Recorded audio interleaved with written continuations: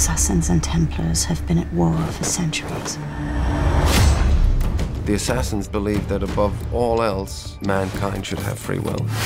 The Templars are more interested in power and a way to control the human race. All the bloodlines of the assassins died out. Bar one. His name is Callum Lynch. What do you want from me? Your past.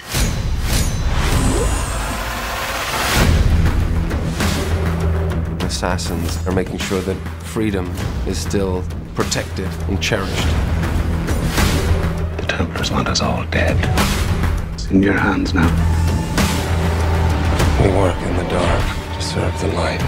We are assassins.